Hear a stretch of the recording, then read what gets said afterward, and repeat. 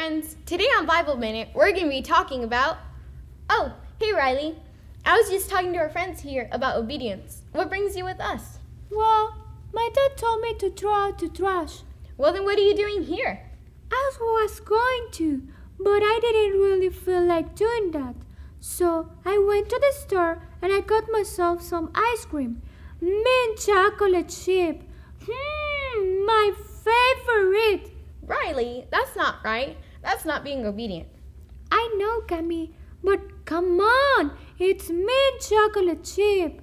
The Bible tells us in 1 John chapter 5 verse 3 that if we love him, we'll obey his commandments, and that means obeying your parents.